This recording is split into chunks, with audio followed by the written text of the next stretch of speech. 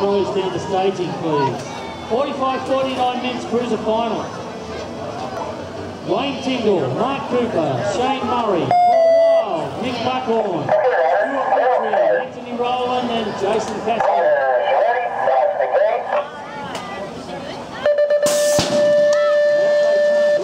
In. And looks like Mark Cooper's gone with him, but drops into second.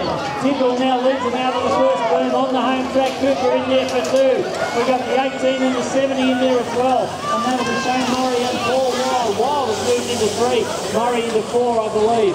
It's uh, all Wayne Tyndall at the moment. Mark Cooper's holding up a gaggle on him.